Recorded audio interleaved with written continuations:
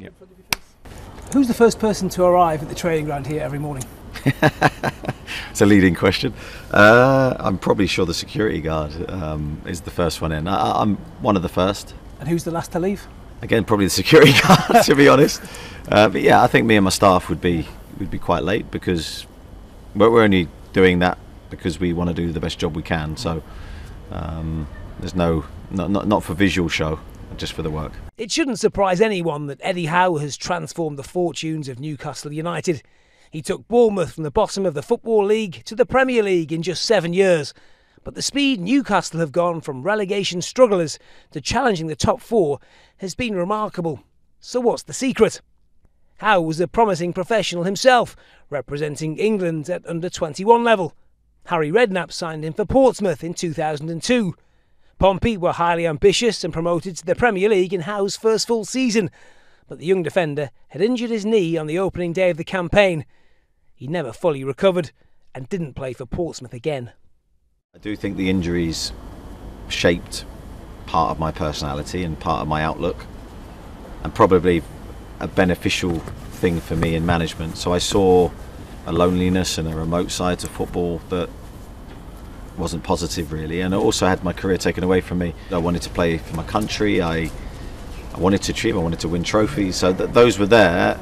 I probably knew deep down that maybe I wasn't good enough to achieve all those aims but didn't stop me trying. So then the fact I never got to experience those things yeah has that fired me to work as hard as I do as a manager? Possibly has. Howe is a fascinating character? On the surface he always seems calm. He doesn't give much away in public at least. But what about the coach we don't see? In the dressing room, on the training ground? Is he a motivator, a coach, a disciplinarian? Well, I think you have to be all of those things at the right time. Uh, probably more towards the coaching side. I, I love to coach. I love to be active. I love to get my ideas across to the players. So I have a passion for improving players.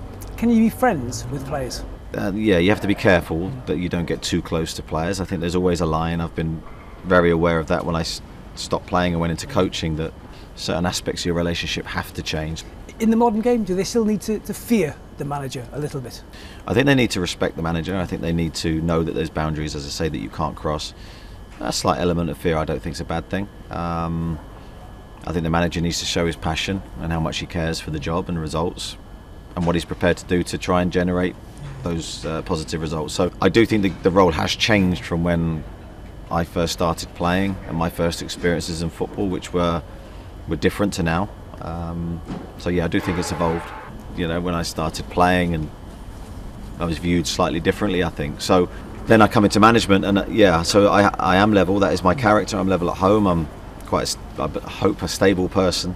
That doesn't mean you can't show emotion and get angry or sad or happy and or you know really happy. You know, you, you've got to have all those emotions in you.